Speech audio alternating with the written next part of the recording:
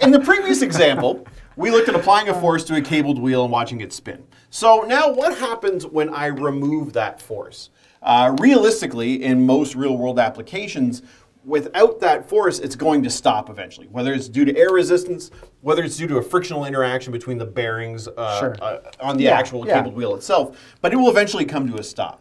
So let's look at examining that case. Okay. So I guess what you're saying is that we can still use that same relationship. Uh, but in this case, now that it's slowing down, there's going to be some deceleration, some new value. And it's because there's a different torque. That, Yeah, that some other torque. force that's acting to slow it down now that we've removed this one. But the important thing to remember is that this moment of inertia is the moment of inertia of this wheel. So it stays the same regardless. And that was 10 kilogram meter squared or Kilogram meter squared or Newton meter second squared per radian. There we go. All right. So, um, so in this case, let's say that when we remove that force, it still spins for a bit. So we'll say a thousand revolutions. why don't- let's say 800. Okay, 800. 800 just because 800 revolutions, when we multiply it by 2 pi to get it into radians, that works out to be about 5,000. And that's a nice number. Nice, that is a better number. Okay, right. let's do that. 5,000 rads. Okay, and then we also look at the idea that our initial rotational speed is what we ended with last time, Okay, so that was 10 rads per second. right? And this is eventually going to slow down and stop. So after that 800 revolutions, we'll eventually get to zero radians per second. Okay. We don't know how much time that takes. No. We've got a new torque. Let me put a little prime here, and we're going to calculate that. Okay. And we've got this new alpha, which we also don't know.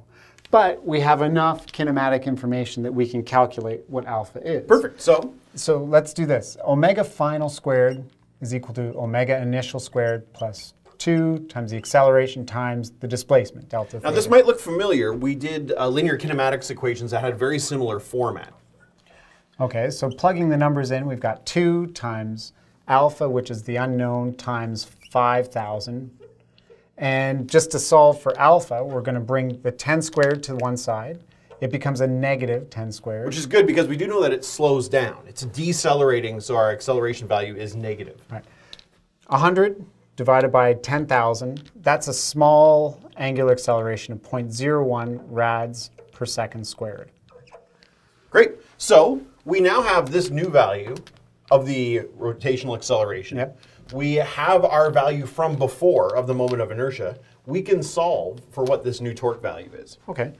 Uh, torque, the new one is 10 kilogram meter squared, was our moment of inertia, times 0.01 rads per second squared. And we're going to get a torque that is, what, 0.1. Kilogram meter squared radians per second squared, or newton meters. There we go. Okay. if you need to find out what the actual force was that was slowing this whole thing down, um, you would have that this torque is equal to the force times the radius. And again, you get this value of 0.1 Right. newtons. Assuming that that force of friction was acting on the end, like if you put your hand on the wheel to slow it down. But sometimes some of the rotational torques, there's no easy way to define a mm-hmm. distance, right? So you're right that in that case, it's perhaps better just to discuss the torque itself because we don't necessarily know where those forces are being applied. exactly. Yeah. Wow. Science.